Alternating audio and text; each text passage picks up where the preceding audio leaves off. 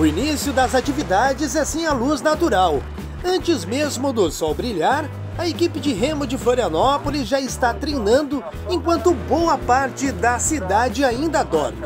A rotina dura de treinos, na água ou em terra, reflete em uma série de resultados positivos, saúde em alta e títulos para comemorar. É, nós temos, então, atletas referências né, que já passaram por aqui, inclusive continuam remando pelo Martinelli. É, temos o Gibran Vieira da Cunha, Fabiana Beltrame, primeira mulher a, a ir a uma Olimpíada no remo, certo? Daí temos outros atletas como o João Delbrando, Gustavo Vilela. Atualmente aqui nós temos é, competindo pelo time Floripa o Diego Nazário. Minha vida mudou totalmente a partir de quando eu comecei a praticar esporte.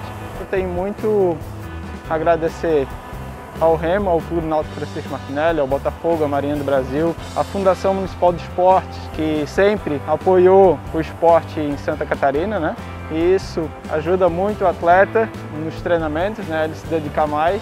Quando você vai competir um brasileiro, né, que é bastante estados, é, pega o Rio de Janeiro, Espírito Santo, São Paulo, é muito, muito legal, porque você consegue conversar com outras pessoas de outros estados que também fazem o mesmo esporte que você, com todos os meus amigos, é muito legal.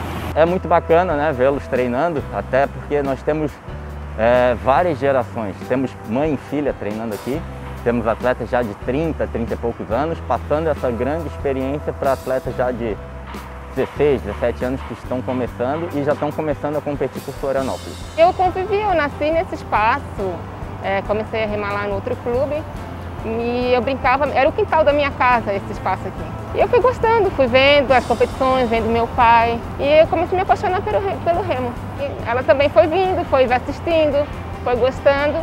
E veio, veio a prima também começou a remar, né? Aí ela começou a vir também. Qualidade de vida, né? O remo é uma coisa assim espetacular fora de série. Ele prepara a gente até para o convívio em sociedade. O Clube Náutico Francisco Martinelli é um verdadeiro berço na formação de atletas. Gibran Vieira, Fabiana Beltrame deram as primeiras remadas na Bahia Sul. Ainda hoje, a equipe do Floripatim é representada até mesmo por atletas que buscam índices internacionais, como Diego Nazário. Eu sempre fui um atleta muito dedicado, treinei muito, então não parei de treinar, estou treinando bastante e para o ano que vem eu já tenho bastante coisa planejada, entendeu?